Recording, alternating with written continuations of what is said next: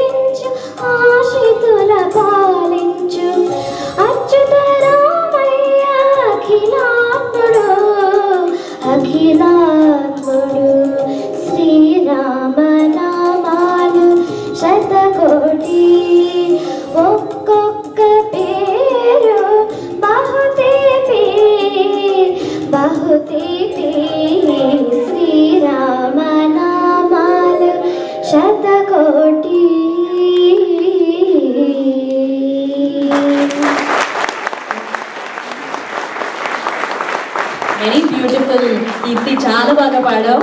ఎవరి దగ్గర సంగీతం నేర్చుకుంటున్నావు నువ్వు? సాయి శృతి ఆంటీ దగ్గర నేర్చుకుంటున్నాను. అవునా? వెరీ గుడ్ నాన్న. వెరీ గుడ్ జడ్జెస్ ఏమంటారో విందాం మరి. చాలా బాగా పాడావు అమ్మా I really have to appreciate ఇంత కాన్ఫిడెంట్గా పాడావు.